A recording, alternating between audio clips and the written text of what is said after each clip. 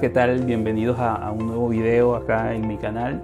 Eh, quería empezar por agradecer a todos los que se han suscrito recientemente. Vamos creciendo de a poco y eso para mí es muy importante y eso también motiva para ir generando contenido. Eh, como lo indica el título, vamos a hacer un review de una de mis guitarras favoritas, que eh, la verdad es una guitarra que siempre quise tener. y es esta maravillosa Godin ACS Slim SA. Ese es el modelo exacto de esta guitarra, su característica principal.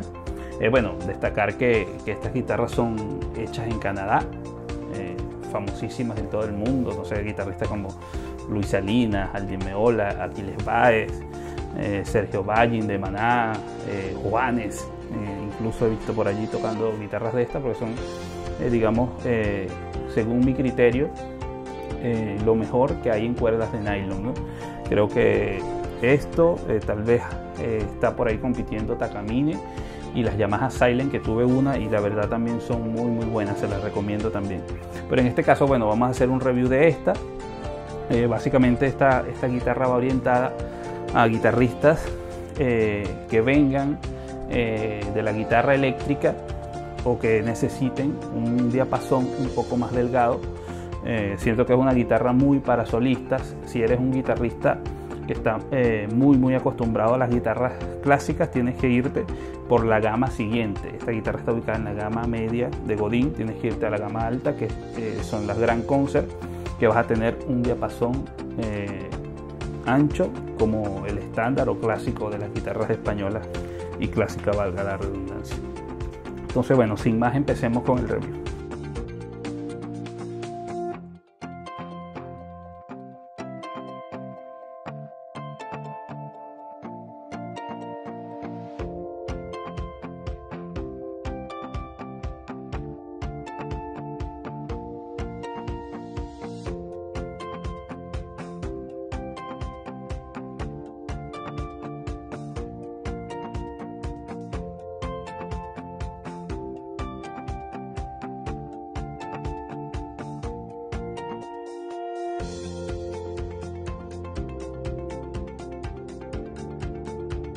Después de ver la, calidad de construcción, las maderas, eh, algunos detalles, eh, como habrán visto es una guitarra que está súper, súper bien construida, su calidad de construcción, la verdad, cuando la tienes en las manos, eh, sientes que tienes un instrumento de verdad, una guitarra de cuerpo sólido. En este caso, esta no, es de media caja. En el, o sea, tú tocas, tal vez para estudiar puede funcionar un poco, pero si no, tiene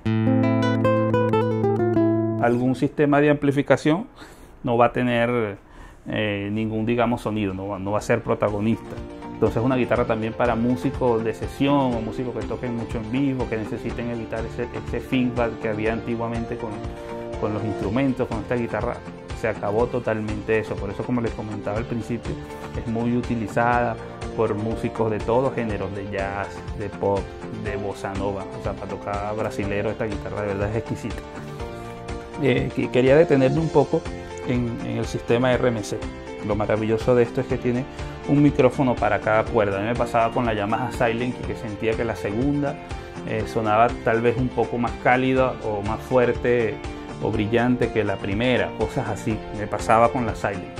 Y eso era porque esa guitarra tenía un piezo. Eh, creo que esto es lo maravilloso, es una guitarra ya a modo de, consejo o conversando más sobre el uso, de, o al menos desde mi experiencia es una guitarra que tenemos que acostumbrarnos a ella y conocerla porque eh, al, tener un, sistema de, micrófono tan bueno, o sea, llega un momento en que si trasteas se va a escuchar perfecto. Entonces tienes que tener como que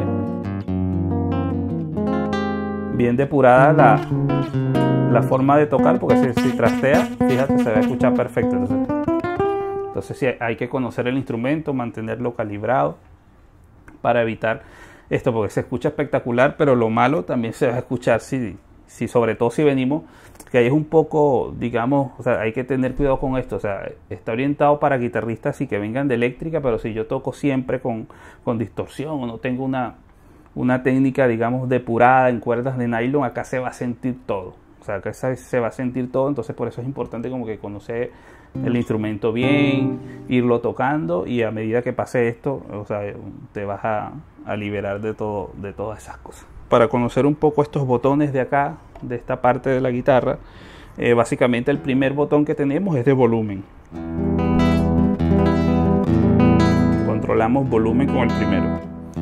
Con el segundo controlamos todo lo que son los agudos.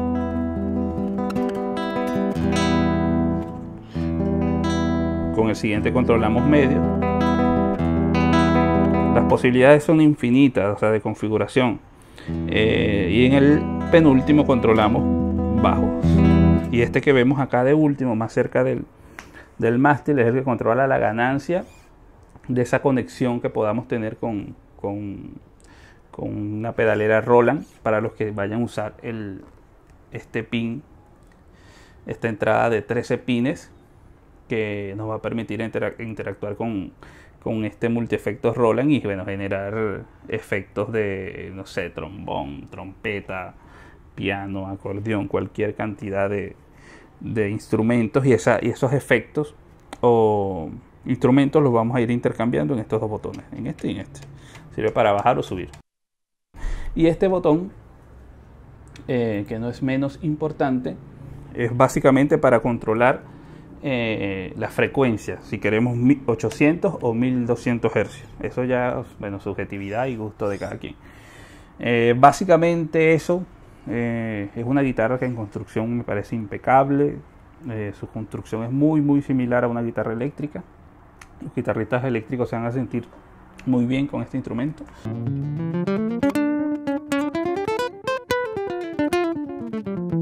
De hecho, el, sonido cambia, o sea, puede...